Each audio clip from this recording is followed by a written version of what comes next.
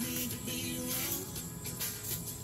Last calls me to call that jam.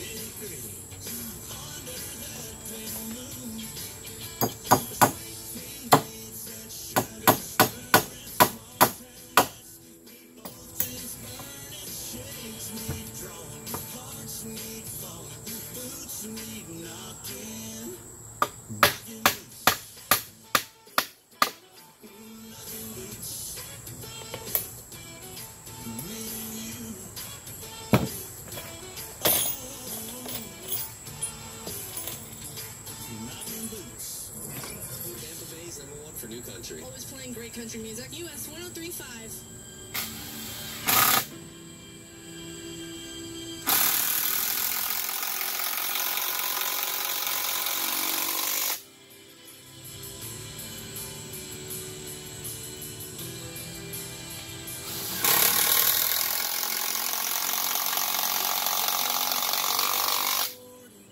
With a lot of life before me,